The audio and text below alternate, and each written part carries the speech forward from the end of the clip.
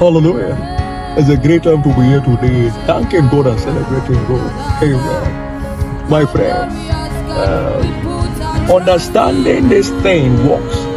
Glory to God. Well, it's been a while since I've actually driven the car. I just have to tell my driver today to give me the car key. It is good to also see what we can do. The last time I ever drove a car was in 1989. Well, look at today. A great. Please be patient and consistent in whatever you do. Even if they don't accept you for who you are, my friend, keep doing it.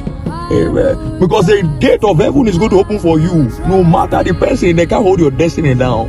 Glory to God. Be patient in walking with God. Be patient in walking with God. All the youth in this generation, listen to me.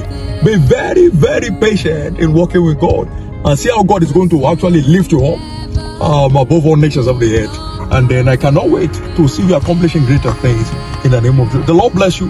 The Lord keep you. And the Lord cause his face to shine on you and be gracious to you in the name of Jesus. Amen.